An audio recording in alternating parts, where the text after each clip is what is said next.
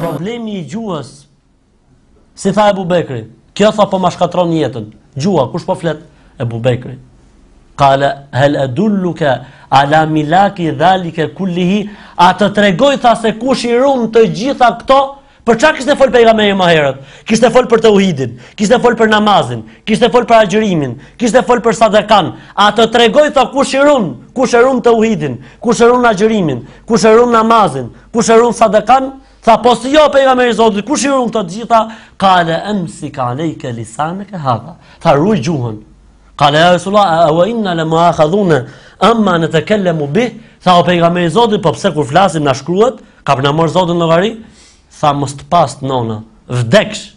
Po ka qenë një lutje që arabët e bojshin, jo me kuptimin e lutjes kundër personit, po një lutje që thuhej e pa kuptim, domethënë thuhej thjesht si, si fjali, po jo me kuptimin që personi të vdes. Tha, a nuk e di ti se njerëzit nuk do të zhyten në xhehenem me fytyrat e tyne shif sa e rond.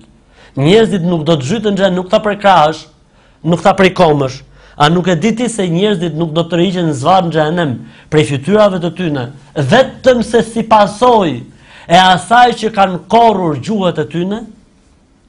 Pra çështja është e rëndësishme. Për këtë arsye tha pejgamberi sa sem, nuk është agjërimi, agjërimi prej të ngrënës dhe prej të pirës, po agjërimi është agjërimi i cili e ruan njeriun nga shprehjet e flliqura, nga shprehjet e ulta, Madje edhe nëse një të shan dhe të ofendon, thuaj dy herë dhikrin, kishte një dhikër të veçantë. Si e ka emrin ky dhikri, Allahumma inni saim. O Zot jam agjërushëm. O Zot jam agjërushëm. S'kam ndërmend me u marr me ty. Pse? Sepse unë jam agjërushëm, kam raportet e mia me Zotin xhele xhelaluhu dhe s'kam nge që të merrem me ty.